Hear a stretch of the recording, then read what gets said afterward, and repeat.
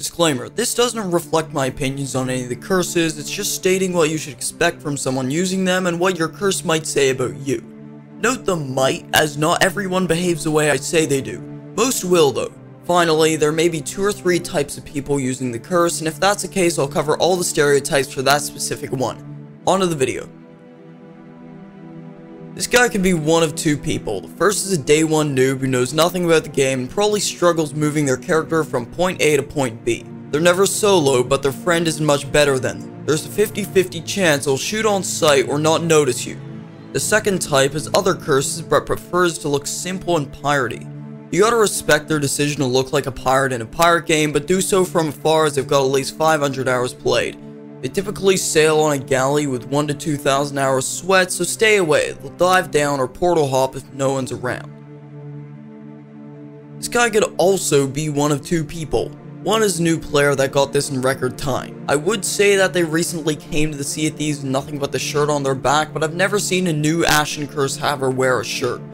They'll typically use the ashen pants and boots as it fits the vibe and isn't locked behind endless pain and suffer. The other variant of person with the ashen curse is a triumphant sea dog. They love the arena and hate Rare for closing it to work on Everwild. They always put up the fight of a lifetime but sink milliseconds towards you. They're pretty nice too but they'll get heated at people who third party hourglass fights.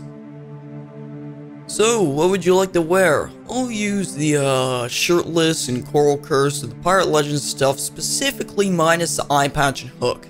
How original. Oh, the energy sword and this beard too. Daring today, aren't we?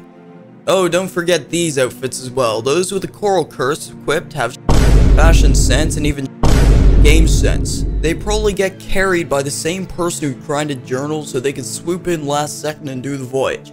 They're not very good at PvP, but they're good target to pick on for loot as they'll get a lot of it. Oh, and they're probably Pirate Legend too. These guys are usually the most chill players on any server. They're at least decent at the game and they'll never lose their crap over a toxic crew. They're also never fat, all I have to say. Barely anyone uses the gold curse now. This is a dying breed of TDMer. They love hourglass, love 3 or more boat TDMs, and hate boots. They also love to hate this game and they constantly give rare for anything they do. They're always around level 40 to 70 in one faction and 10 in the other. I really should make another stereotype video about skeleton cursed cosmetics. I'm sort of painting with a broad brush here, there's lots of different stereotypes for this one curse, but people using this are pretty energetic most of the time. They'll treat their crew with respect but be a douche towards others. There is also two types of people with this curse. The first type is a veteran that isn't very good at the game. They're usually distinguishable by their sovereign hat and daring deceiver beard. They might use a facial scar too.